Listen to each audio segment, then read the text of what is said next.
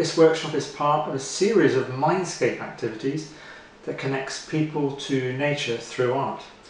Mindscape is a Wye Valley area of outstanding natural beauty and Artspace Cinderford project. It's part of the Foresters Forest, the National Lottery Heritage Fund and the Landscape Partnership Programme. Each of the YouTube clips is accompanied by a step-by-step -step activity guide that you can download from the ArtSpace Cinderford website.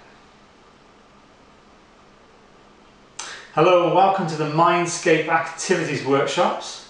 For this session, we're going to take a look at image transfer.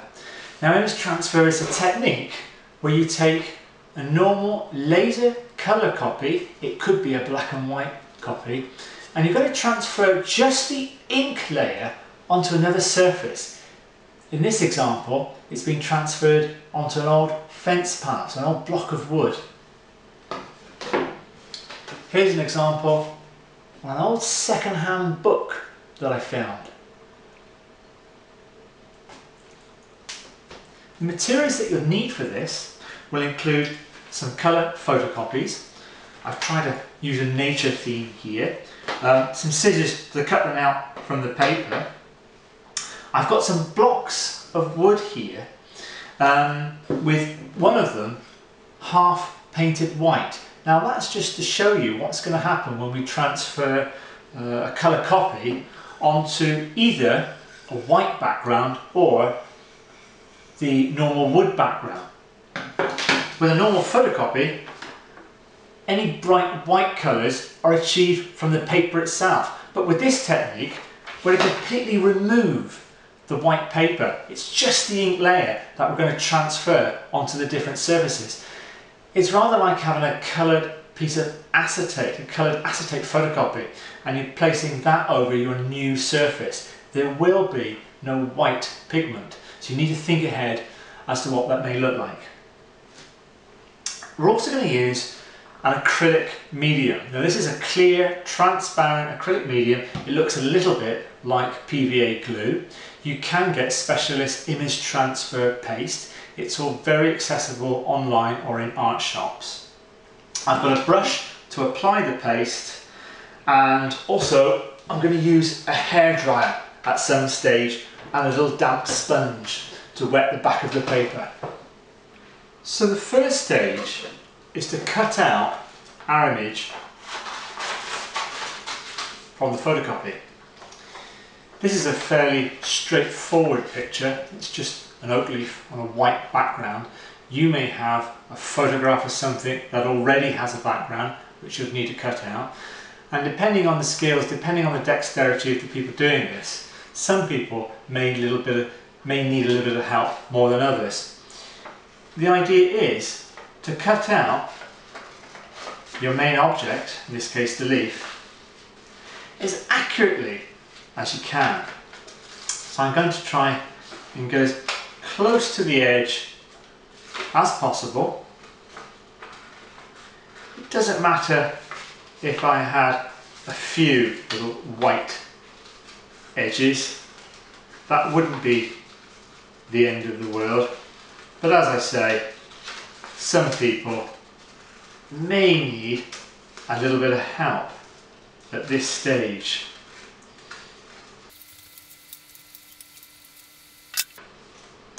Okay, so one oak leaf cut out. Now, as I said before, the idea is we just want to transfer this ink layer, this laser copy ink layer. It has to be a laser copy and not an inkjet because the paste is wet. If we were to paste onto an inkjet, it would reclaim that ink and it would smudge, it would, it would smear. With a laser copy, any water, any liquid that goes on top of the ink doesn't damage that surface, doesn't damage that image. So, I'm going to place it onto this half and half wooden background. So I'm going to take my transfer paste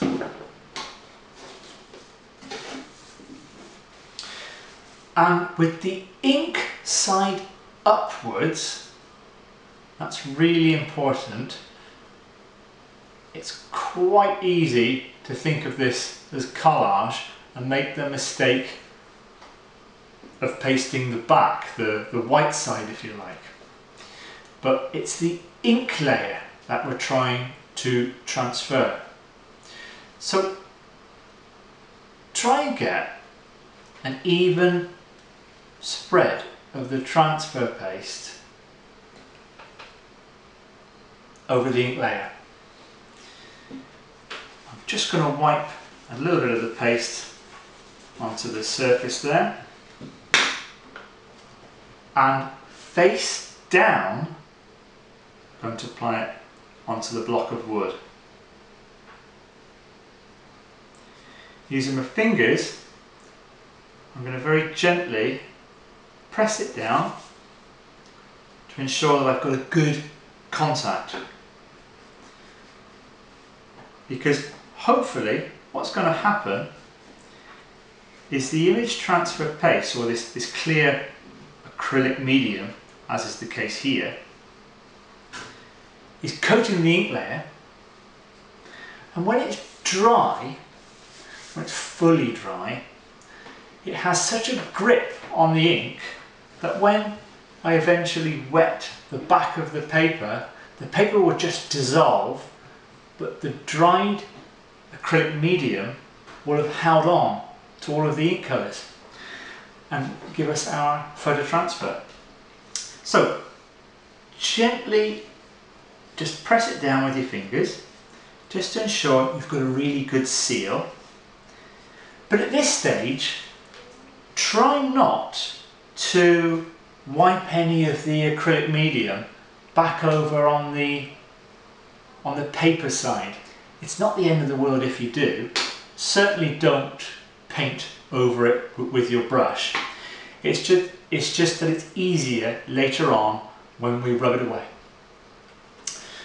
So I need this to dry thoroughly now. This is where the hairdryer comes in.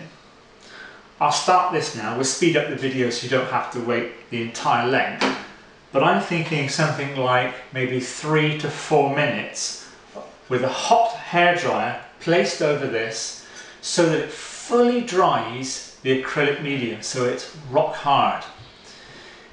This technique would work if we were to wet the back of this paper for, for, for the final stage and the acrylic medium was still wet. It needs to be bone dry. Okay, so let's start drying and we'll speed up the video for this.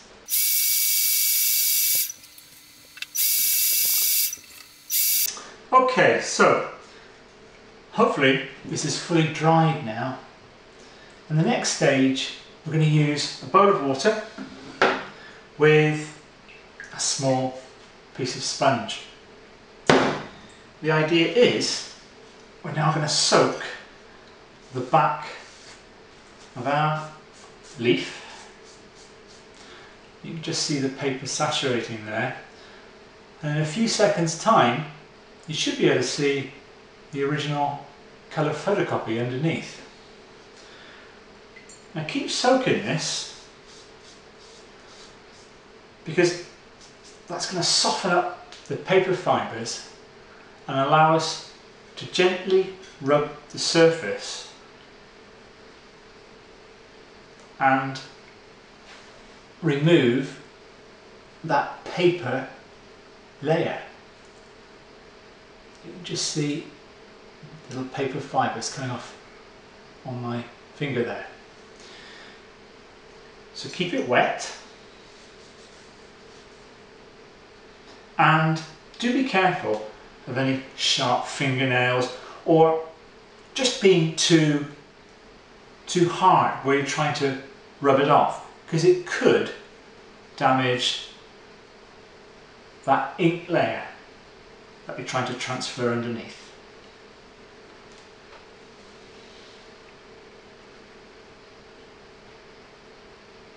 Okay, keep it wet.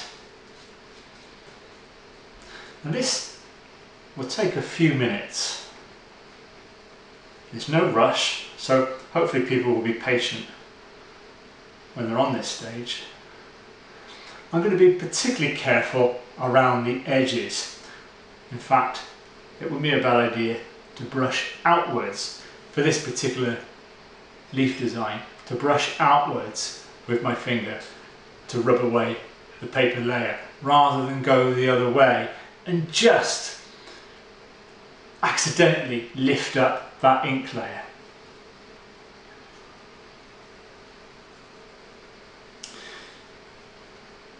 I'll speed this video up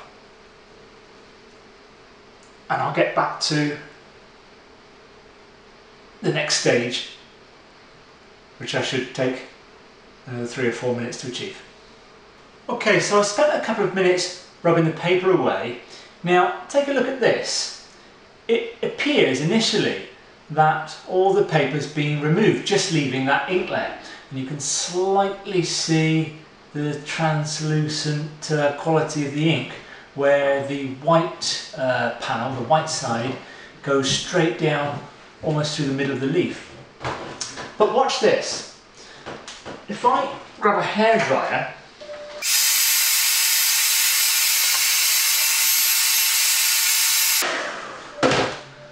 and dry the surface, look what happens. There's still a very thin layer of paper. So though it may look like we've got to the final stage, there's still a bit more work to be done. It's still a, a very thin layer of paper fibres. It's just that they were saturated and became transparent. So again, get back into the gentle rubbing stage and try to remove that final thin little layer of paper fibre.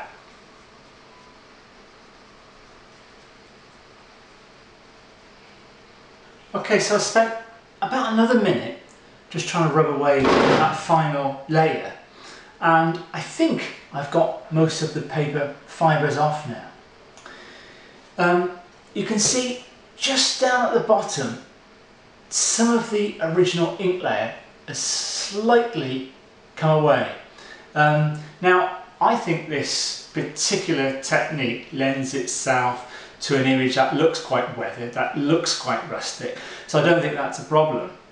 In fact, if you do get any pieces that dislodge, that scratch away, don't panic.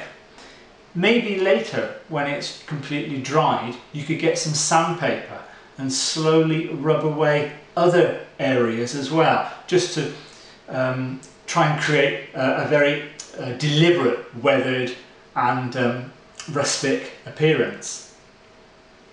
So the very last stage is to use some of your acrylic medium again and just like a varnish cover it over the surface of the image transfer and what this will do is again just make any remaining paper fibres slightly transparent so they don't show up but also fully seals it against your block of wood.